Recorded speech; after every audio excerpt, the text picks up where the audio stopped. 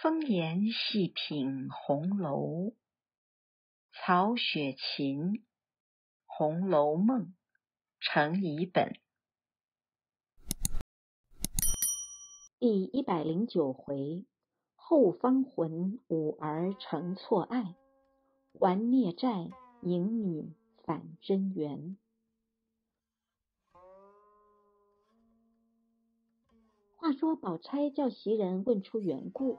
孔宝玉悲伤成疾，便将黛玉临死的话与袭人假作闲谈，说是人在世上有义有情，到了死后各自干各自的去了，并不是生前那样的人，死后还是那样。活人虽有痴心，死的竟不知道。况且林姑娘既说先去，她看凡人是个不堪的浊物。哪里还肯混在世上呢？只是人自己疑心，所以招出些邪魔外祟来缠扰。宝钗虽是与袭人说话，原是说给宝玉听的。袭人会意，也说是没有的事。若说林姑娘的魂灵儿还在园子里，我们也算相好，怎么没有梦见过一次呢？宝玉在外间听着，细细的想到。果然也奇，我知道林妹妹死了，哪一日不想几遍呢？怎么从没有梦见呢？想必她到天上去了。瞧我这凡夫俗子，不能交通神明，所以梦都没有一个。我如今就在外间睡，或者我从园里回来，也知道我的心呢，肯与我梦里一见呢？我必要问他。实在哪里去了？我也时常惦记他。若是果然不理我这浊物，竟无一梦，我便也不想他了。主意已定，便说：“我今夜就在外间睡，你们也不用管我。”宝钗也不勉强他，只说：“你不用胡思乱想，你没瞧见太太因你园里去了，急得话都说不出来。”你这会子还不保养身子，倘或老太太知道了，又说我们不用心了。宝玉道：“白这么说罢了，我坐一会子就进来。你也乏了，先睡吧。”宝钗料他必进来的，假意说道：“我睡了，叫席姑娘伺候你吧。”宝玉听了，正合机宜，等宝钗睡下。他便叫袭人设月，另设铺，放好一副被褥，常叫人进来瞧二奶奶睡着了没有。宝钗故意装睡，也是一夜不宁。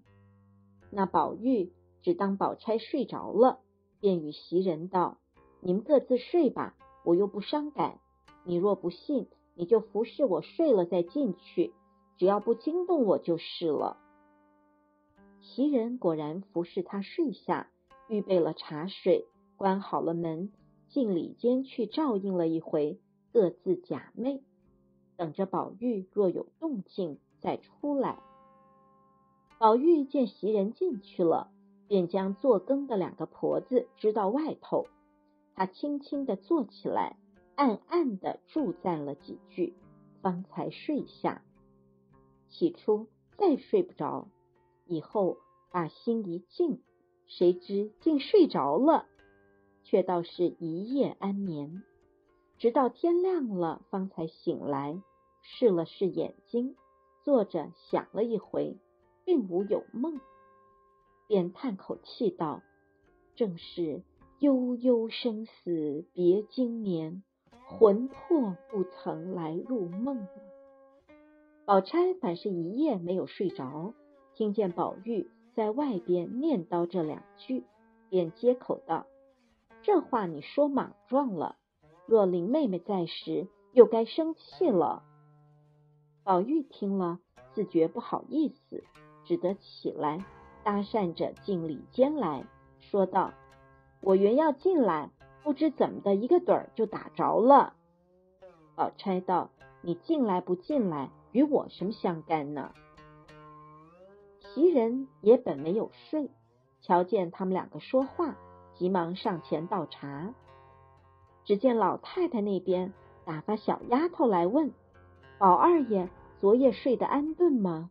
若安顿，早早的同二奶奶梳洗了就过去吧。”袭人道：“你去回老太太说，宝玉昨夜很安顿，回来就过来。”小丫头去了，宝钗连忙梳洗了，因而袭人等跟着，先到贾母那里行了礼。便从王夫人那边起至凤姐都让过了，仍到贾母处，见他母亲也过来了。大家问起宝玉晚上好吗？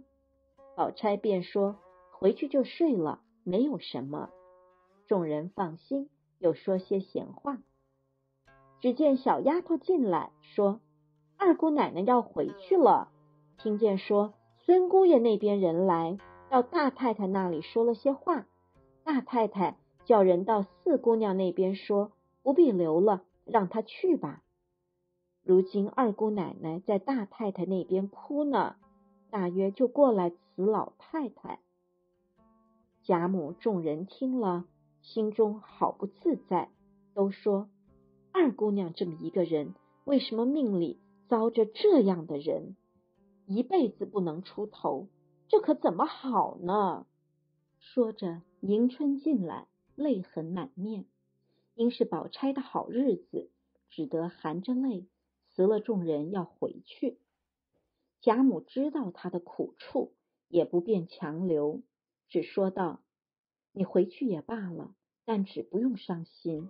碰着这样的人也是没法的。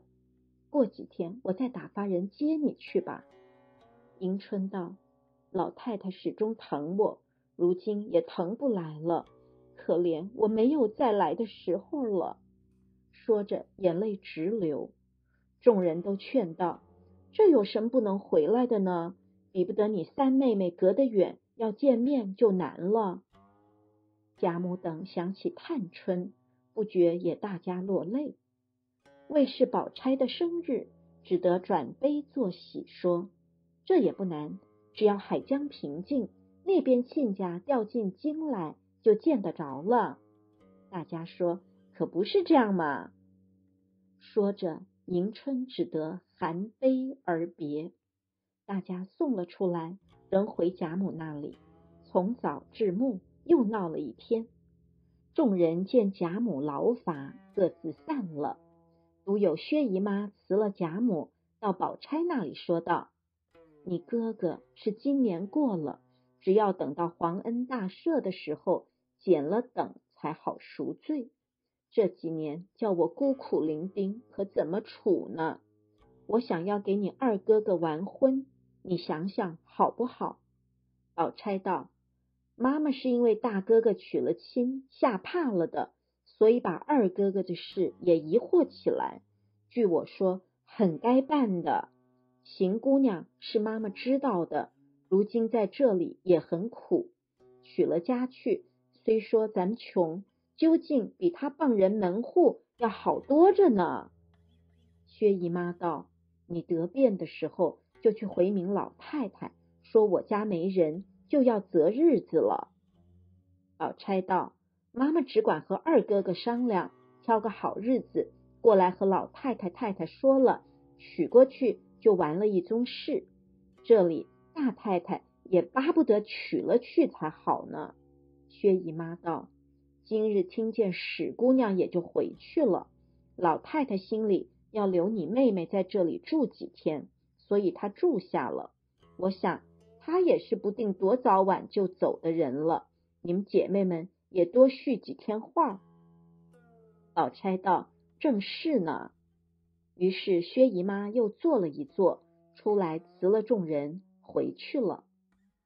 却说宝玉晚间归房，因想昨夜黛玉竟不入梦，或者他已经成仙，所以不肯来见我这种浊人，也是有的。不然就是我的性儿太急了，也未可知。便想了个主意，向宝钗说道：“我昨夜偶然在外头睡着。”似乎比在屋里睡得安稳些。今日起来，心里也觉着清静。我的意思还要在外头睡两夜，只怕你们又来拦我。宝钗听了，明知早晨他嘴里念诗，自然是为黛玉的事了。想来他那个呆性是不能劝的，倒好叫他睡两夜，索性自己死了心也就罢了。况间昨夜听他睡的倒也安静，便道：“好没来由，你只管睡去，我们拦你做什么？但只别胡思乱想的招出些邪魔外祟来就好。”宝玉笑道：“谁想什么？”袭人道：“依我劝，二爷竟还是屋里睡吧，外边一时照应不到，着了凉倒不好。”宝玉未及答言，宝钗却向袭人使了个眼色。袭人会意道：“也罢，叫个人跟着你吧，夜里好倒茶倒水的。”宝玉便笑道：“这么说。”你就跟了我来，袭人听了倒没意思起来，当时绯红了脸，一声也不言语。宝钗素知袭人稳重，便说道：“他是跟惯了我的，还叫他跟着我吧，叫麝月、五儿照料着也罢了。况且今日他跟着我闹了一天，也乏了，该叫他歇歇了。”宝玉只得笑着出来。宝钗因命麝月、五儿给宝玉仍在外间铺设了，又嘱咐两个人醒睡些，要茶要水都留点神儿。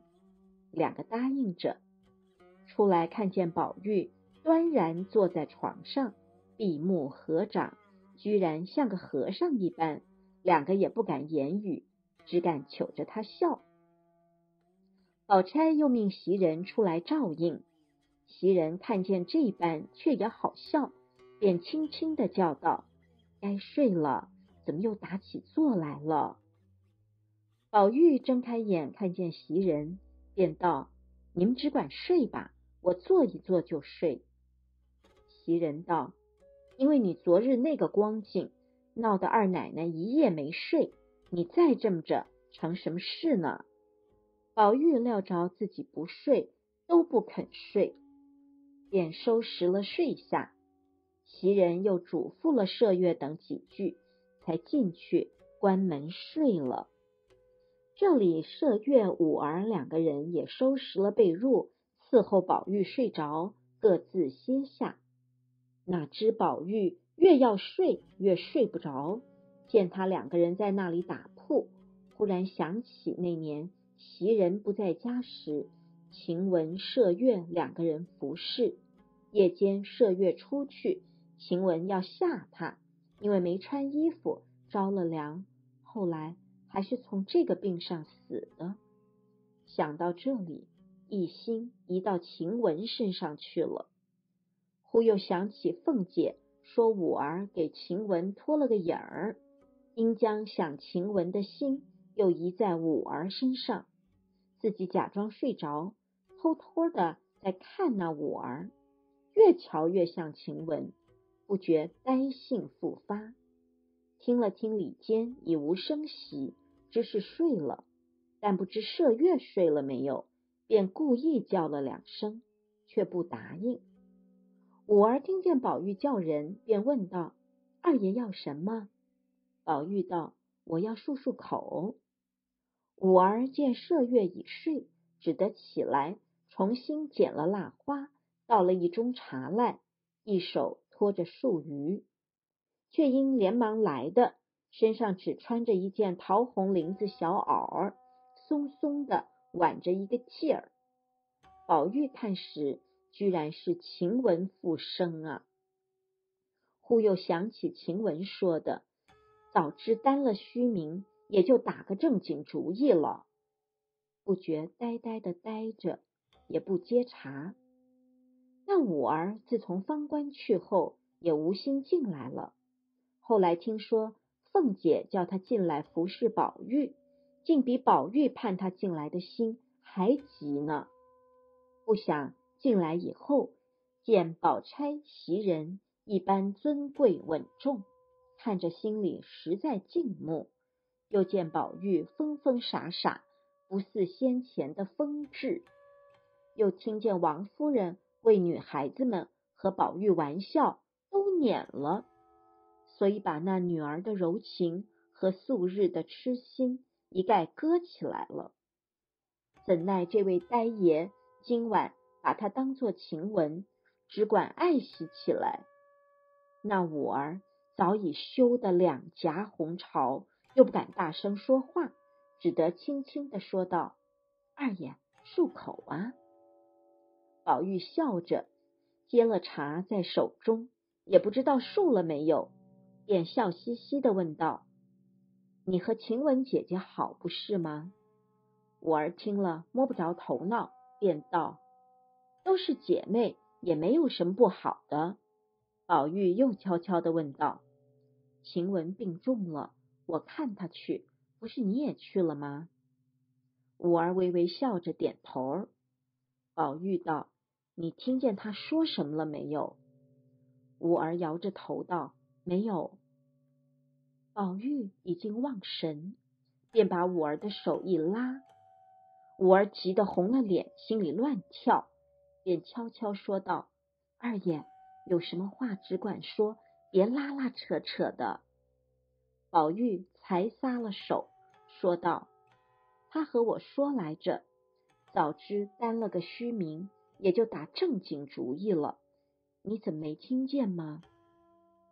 五儿听了这话，明明是撩拨自己的意思，又不敢怎么样，便说道：“那是他自己没脸，这也是我们女孩家说得的嘛。”宝玉着急道：“你怎么也是这么个道学先生？我看你长得和他一模一样，我才肯和你说这个话。”你怎么倒拿这些话来糟蹋他？此时五儿心中也不知宝玉是怎么个意思，便说道：“夜深了，二爷睡吧，别尽管坐着看着凉了。刚才奶奶和袭人姐姐怎么嘱咐来的？”宝玉道：“我不凉。”说到这里，忽然想起五儿没穿大衣裳。就怕他也像晴雯似的着了凉，便问道：“你为什么不穿上衣裳就过来呢？”五儿道：“爷叫的紧，哪里有紧着穿衣裳的空儿呢？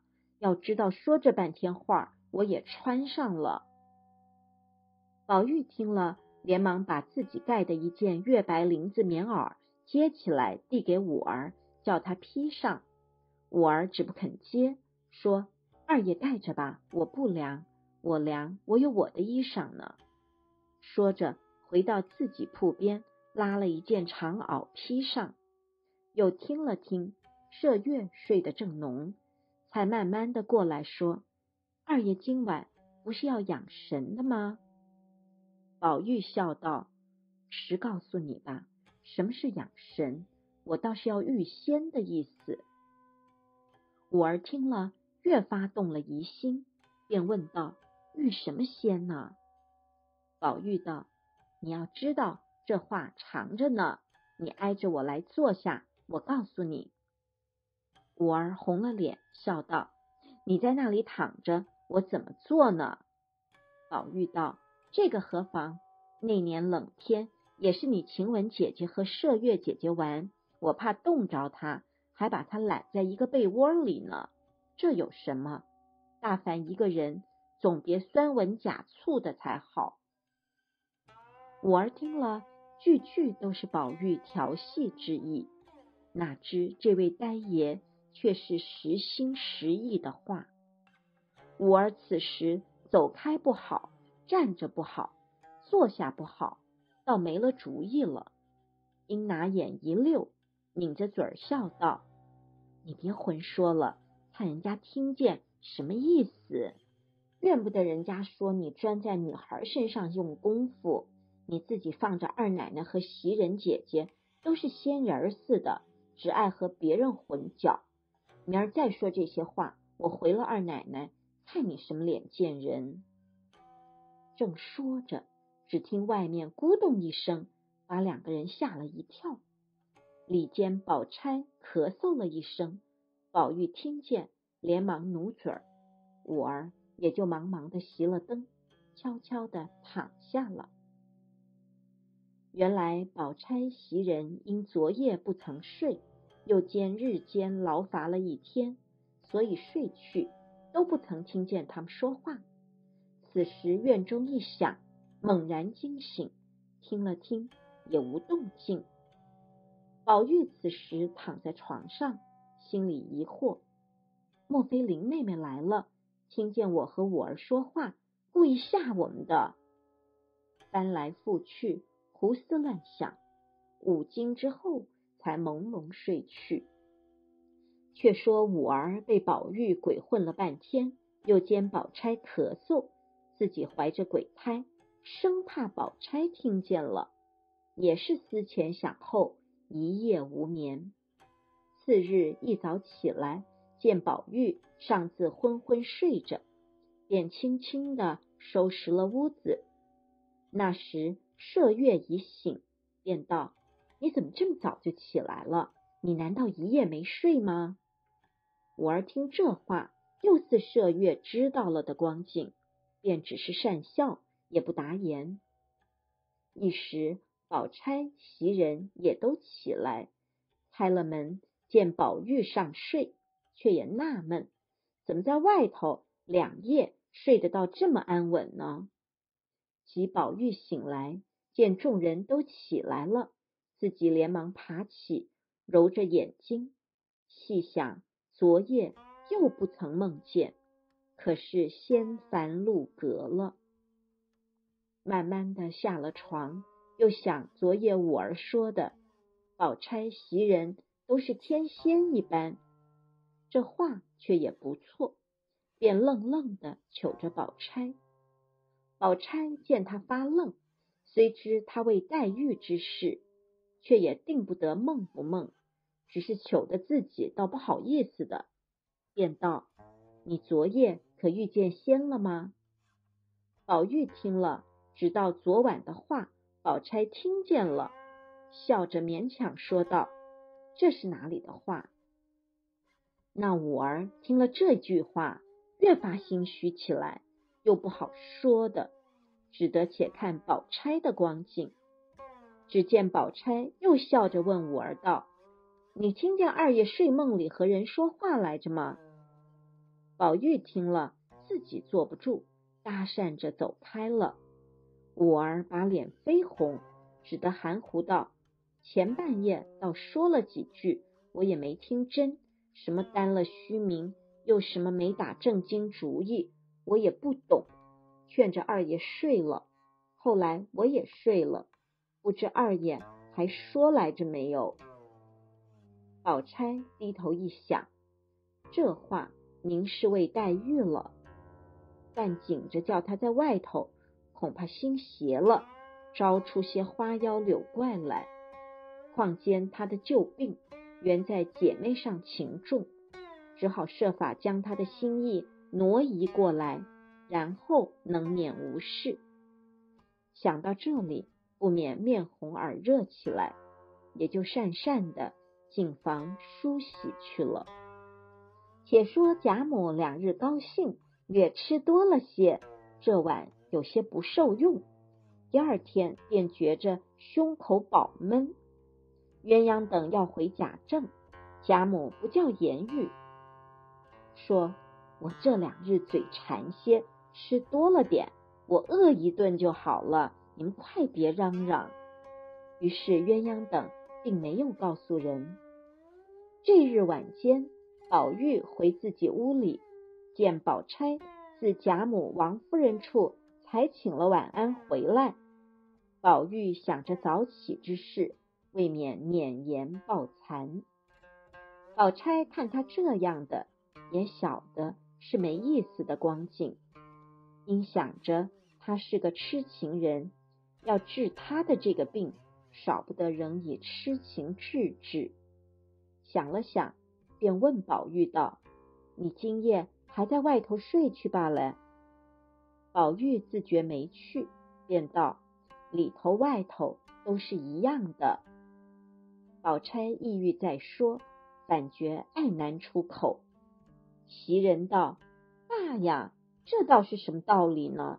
我不信，睡得那么安顿。”五儿听见这话，连忙接口道：“二爷在外头睡，别的倒没有什么，只爱说梦话，叫人摸不着头脑，又不敢驳他的回。”袭人便道：“我今日挪出床上睡睡，看说梦话不说，您只管把二爷的铺盖铺在里间就完了。”宝钗听了也不作声。宝玉自己惭愧，哪里还有犟嘴的份儿呢？便依着搬进来。一则宝玉抱歉，欲安宝钗之心；二则宝钗恐宝玉私欲成疾，不如稍事柔情，使得亲近，以为移花接木之计。于是当晚袭人果然挪出去。这宝玉固然是有意赴京，那宝钗自然也无心拒客。从过门到今日，方才是雨腻云香，气晕调畅。从此二五之精妙合而凝。此事后话不提。且说次日，宝玉、宝钗同起，宝玉梳洗了。先过贾母这边来，这里贾母因疼宝玉，又想宝钗孝顺，忽然想起一件东西来，便叫鸳鸯开了箱子，取出祖上所遗的一个汉玉珏，虽不及宝玉他那块玉石挂在身上，却也稀罕。鸳鸯找出来递与贾母，便说道：“这件东西我好像从没见过的。”老太太这些年还记得这样清楚，说是那箱什么夹子里装着。我按着老太太的话，一拿就拿出来了。老太太这会子要拿出来做什么呢？贾母道：“你哪里知道？这块玉还是祖爷爷给我们老太爷，老太爷疼我，临出嫁的时候叫了我去，亲手递给我的，还说。”这玉是汉时所配的东西，很贵重。你拿着就像见了我一样。我那时候还小，拿了来也不当什么，便撂在箱子里。到了这里，我看见咱们家的东西也多，这算的什么？从没带过，一撂便撂了六十多年。今儿见宝玉这样孝顺，他又丢了一块玉，故此。想着拿出来给他，也像是祖上给我的意思。一时宝玉请了安，贾母便喜欢道：“你过来，我给你件东西瞧瞧。”宝玉走到床前，贾母便把那块汉玉递给了宝玉。宝玉接过来一瞧，那玉有三寸方圆，形似甜瓜，色有红晕。甚是精致，宝玉口口称赞。贾母道：“你爱吗？这是我祖爷爷给我的，我传了你吧。”宝玉笑着请了个安，谢了，又拿了要送给他母亲瞧瞧。贾母道：“你太太瞧了，告诉你老，又说疼儿子不如疼孙子了，他们从没见过的。”宝玉笑着去了，宝钗等又说了几句话，也辞了出来。自此，贾母两日不进饮食，胸口仍是膨闷，觉得头晕目眩，咳嗽。邢王二夫人、凤姐等请安，见贾母精神尚好，不过叫人告诉贾政，立刻来请了安。贾政出来。即请大夫看脉，不多一时，大夫来诊了脉，说是有年纪的人停了些饮食，感冒些风寒，略消导发散些就好了。开了方子，贾政看了，知是寻常药品，命人煎好进服。以后贾政早晚进来请安，一连三日不见稍减。贾政又命贾琏打听好大夫，快去请来瞧老太太的病。咱们家常请的几个大夫，我瞧着不怎么好，所以叫你去。”贾琏想了一想，说道：“记得那年宝兄弟病的时候，倒是请了一个不行医的来瞧了，好了的。如今不如找他吧。”贾政说：“医道却是极难的，越是不兴实的大夫，倒越有本领。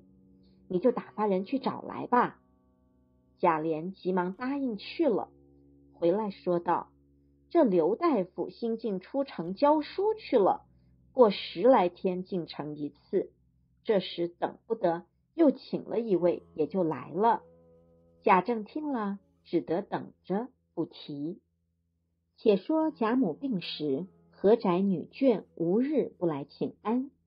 一日，众人都在那里，只见看园内腰门的老婆子进来回说：园里的拢翠庵的妙师傅知道老太太病了，特来请安。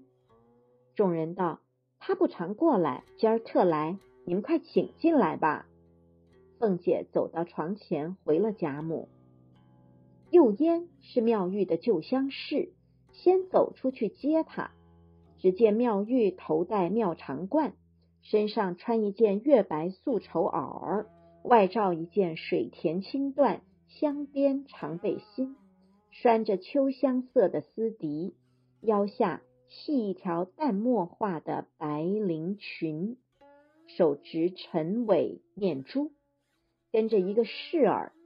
飘飘逸逸的走了来，右嫣见了问好，说是在园内住的时候，可以常来瞧瞧你。近来因为园内人少，一个人轻易的难出来。况且咱们这里的妖门常关着，所以这些日子不得见你。今儿幸会。妙玉道：头里你们是热闹场中，你们虽在外园里住，我也不便常来亲近。如今知道这里的事情也不太好，又听说是老太太病着，又惦记着你，还要瞧瞧宝姑娘。我哪管你们关不关？我要来就来，我不来，你们要我来也不能呢。又烟笑道：“你还是这种脾气。”一面说着，已到贾母房中，众人见了，都问了好。妙玉走到贾母床前问候，说了几句套话。贾母便道：“你是个女菩萨，你瞧瞧我的病，可好得了好不了呢？”妙玉道：“老太太这样慈善的人，寿数正有呢。一时感冒，吃几帖药，想来也就好了。有年纪的人，只要宽心些。”贾母道：“我倒不为这些。”我是个极爱寻快乐的，如今这病也不觉怎么着，只是胸膈饱闷。刚才大夫说是气恼所致，你是知道的，谁敢给我气受啊？这不是那大夫耐力平常吗？我和莲儿说了，还是头一个大夫说感冒伤时说的事，明儿还请他来。说着，叫鸳鸯吩咐厨房里。办一桌净素菜来请妙师傅这里便饭。妙玉道：“我吃过午饭了，我是不吃东西的。”王夫人道：“不吃也罢，咱们多坐会儿，说些闲话吧。”妙玉道：“我久已不见你们，今日来瞧瞧。”又说了一回话，便要走，回头见席春站着，便问道：“四姑娘为什么这样瘦啊？”不要只管爱画，劳了心了。惜春道：“我久已不画了，如今住的房屋不比园里的显亮，所以没兴头画。”妙玉道：“你如今住在哪所？”惜春道：“就是你才来的那个门东边的屋子，你要来很近。”妙玉道：“我高兴的时候来瞧你。”惜春等说着，送了出去。回过身来，听见丫头们回说，大夫在贾母那边呢。众人暂且散去。哪知贾母这病一日重一日，言医调治不效，以后又添了腹泻。贾政着急了，知病难医，即命人到衙门告假，日夜同王夫人轻视汤药。一日见贾母略进些饮食，心里稍宽。只见老婆子在门外探头，王夫人叫彩云看去，问问是谁。彩云看了，是陪迎春到孙家去的人，便道：“你来做什么？”婆子道：“我来了半日，这里找不着一个姐姐们，我又不敢冒撞，我心里又急。”彩云道：“你急什么？又是姑爷作见姑娘不成吗？”婆子道：“姑娘不好了，前儿闹了一场，姑娘哭了一夜。昨日痰堵住了，他们又不请大夫，今日更厉害了。”彩云道：“老太太病着呢，别大惊小怪的。”王夫人在内已听见了，恐老太太听见不受用，忙叫彩云带她外头说去。岂知贾母病中心静，偏偏听见了，便道：“银丫头要死了吗？”王夫人便道：“没有，婆子们不知轻重，说是这两日有些病，恐不能就好，到这里问大夫。”贾母道：“瞧我的大夫就好，快请了去。”王夫人便叫彩云叫这婆子。去回大太太去，那婆子去了。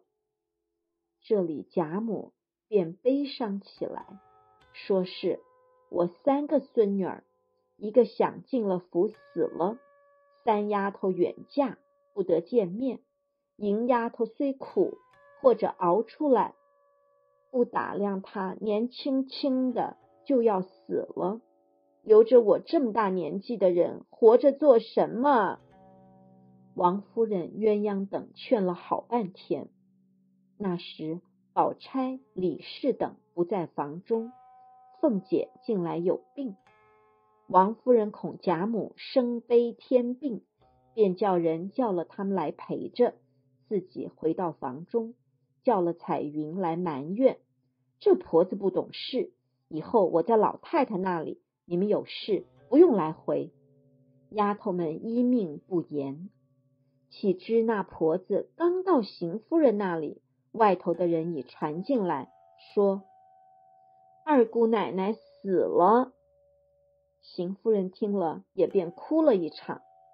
现今他父亲不在家中，只得叫贾琏快去瞧着。知贾母病重，众人都不敢回。可怜一位如花似月之女，结离年余。不料被孙家揉搓，以致身亡。又值贾母病笃，众人不便离开，竟容孙家草草完结。贾母病势日增，只想着这些孙女儿，一时想起了湘云，便打发人去瞧她。回来的人悄悄的找鸳鸯，因鸳鸯在老太太身旁，王夫人等都在那里。不便上去，到了后头找了琥珀，告诉他道：“老太太想史姑娘，叫我们去打听。哪里知道史姑娘哭得了不得，说是姑爷得了暴病，大夫都瞧了，说这病只怕不能好，若是变了痨病，还可挨过四五年。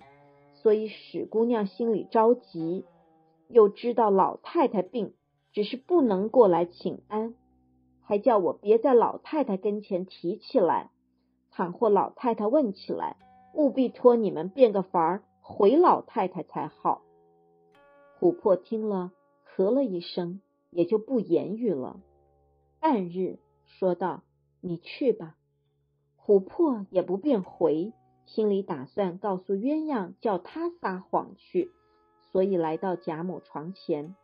见贾母神色大变，地下站着一屋子的人，叽叽喳喳的说：“瞧着是不好，也都不敢言语了。”这里贾政悄悄的叫贾琏到身旁，向耳边说了几句话。贾琏轻轻的答应出去了，便传齐了现在家里的一干人，说老太太的事待好出来了，你们快快分头派人办去。头一件，先请出版来瞧瞧，好挂里子。快到各处将个人的衣服量了尺寸，都开明了，便叫裁缝去做孝衣。那彭刚执事都讲定了，厨房里还该多派几个人。赖大等回道：“二爷，这些事不用也费心，我们早打算好了。只是这项银子在哪里领呢？”贾琏道：“这宗银子不用外头去，老太太自己早留下了。刚才老爷的主意，只要办得好，我想外面也要好看。”赖大等答应着，派人分头办去。贾琏复回到自己房中。便问平儿：“你奶奶今儿怎么样？”平儿把嘴往里一努，说：“你瞧去。”贾琏进内，见凤姐正要穿衣，一时动不得，暂且靠在炕桌上。贾琏道：“你只怕养不住了，老太太的事，今儿明儿就要出来了，你还拖得过吗？快叫人将屋里收拾收拾，就要扎针上去了。”若有了事，你我还能回来吗？凤姐道：“咱们这里还有什么收拾的？不过就是这点子东西，还怕什么呢？你先去吧，看老爷叫你，我换件衣裳就来。”贾琏回到贾母房中，向贾政悄悄的回道：“诸事已交派明白了。”贾政点头。外面又报太医来了。贾琏接入，又诊了一回。大夫出来，悄悄的告诉贾琏，老太太的脉气不好，防着些。贾琏会意，与王夫人等说之。王夫人急忙使眼色，叫鸳鸯过来，叫他把老太太这装裹衣服预备出来。鸳鸯自去料理。贾母睁眼要茶喝。邢夫人便进了一杯参汤，贾母刚用嘴接着喝，便道：“不要这个，倒一盅茶来我喝。”众人不敢为傲，急忙送上来，一口喝了，还要，又喝了一口，便说：“我要坐起来。”贾政等道：“老太太要什么，只管说，可以不必坐起来才好。”贾母道。我喝了口水，心里好些儿了，略靠着和你们说说话。珍珠等用手轻轻的扶起，看见贾母这会子精神好了些。未知生死，下回分解。